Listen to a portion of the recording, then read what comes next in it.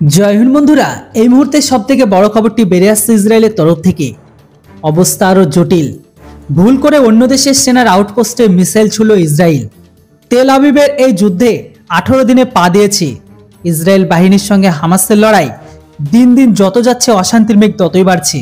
গাজা অবরুদ্ধ করে দেওয়ার আগে অবস্থান থেকে কিছুটা নরম হয়েছে ইসরায়েল। অন্যদিকে মিশরের সেনার একটি আউটপোস্টে ট্যাঙ্ক থেকে মিসাইল ছুড়েছে ইসরায়েল। ঘটনার পর এক তড়িঘড়ি স্টেটমেন্ট জারি করে আইডিএফ।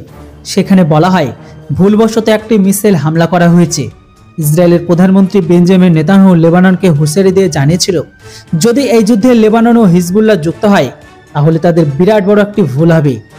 অন্যদিকে এই দিন মার্কিন যুক্তরাষ্ট্র, ব্রিটেন, কানাডা, ফ্রান্স, জার্মানি, ইতালির রাষ্ট্রনেতারা একটি যৌথ আবেদনের সন্ত্রাসের বিরুদ্ধে আত্মরক্ষার জন্য ইসরায়েলের অধিকার প্রতি তাদের সমর্থন পুনর্ব্যক্ত করে দিয়েছে। পাশাপাশি এই দেশগুলো আন্তর্জাতিক মানবিক আইন মেনে চলার আবেদন জানিয়ে দিয়েছিল তারা। ডান্স প্রধানমন্ত্রী মার্ক রুট ও ফরাসি প্রেসিডেন্ট ইমানুয়েল ম্যাক্রন ঘোষণা করেছে যে তারা আগামী সপ্তাহে ইসরায়েলে সফর করবেন। জানাতো এটাও যাচ্ছে যে গাজায় তান সামগ্রী বহনকারী চোদ্দটি ট্রাকের একটি কনভয়কে প্রবেশের অনুমতি দেওয়া হয়েছে।